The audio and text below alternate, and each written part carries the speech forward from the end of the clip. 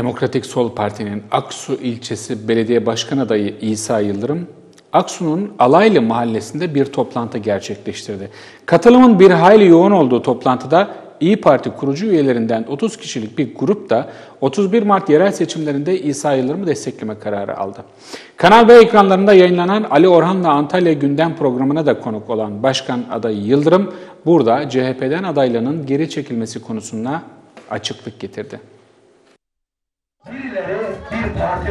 Demokratik Sol Parti Aksu Belediye Başkan adayı İsa Yıldırım, Alaylı Mahallesi'nde kalabalık bir toplantı gerçekleştirdi.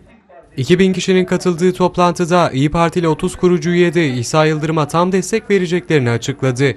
Grup adına söz alan İyi Parti kurucularından Ahmet Yıldız, İsa Yıldırım'a desteğini şu sözlerle dile getirdi. Benim Aksu'yu idaretçi olan Antalya'da Aksu'dur arkadaşlar.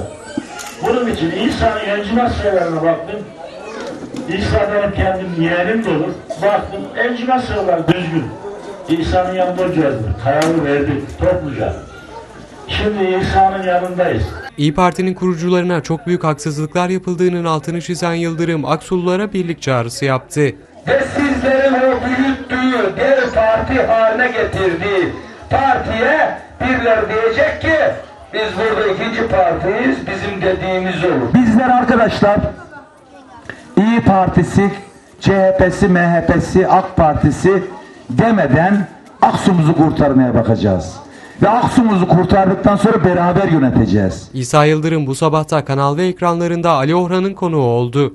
CHP'den aday gösterilip geri alınması konusunda konuşan İsa Yıldırım, olay üzerine Ankara'ya gittiği merak edilen o süreç hakkında şu açıklamalarda bulundu. kesin adayımız sensin dediler.